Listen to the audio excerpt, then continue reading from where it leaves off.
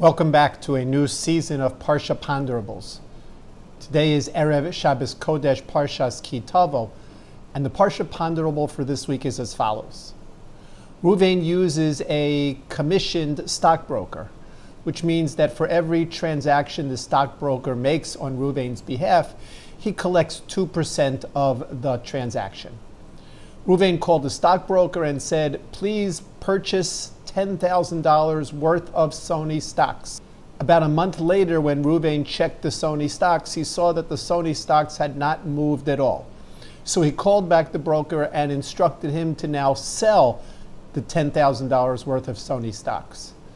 The stockbroker seemed confused and said, You didn't tell me to purchase Sony stock. You told me to purchase Coney stock. No, said Ruvain, I told you to purchase Sony stock. And they ultimately discovered that the stockbroker had made a mistake.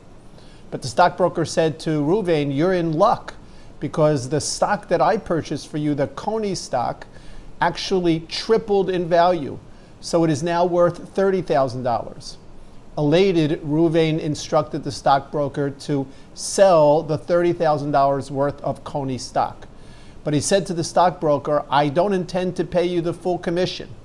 On the original transaction, if you had sold and bought Sony stock, I would have paid you $200 to buy and $200 to sell.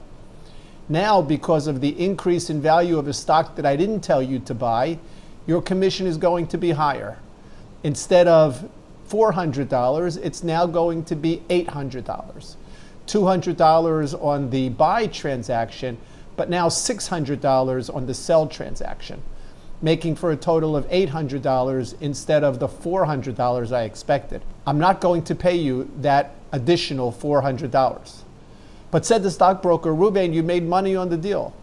Ruvain said, It doesn't matter. The mistake was yours, and I deserve all of the profit.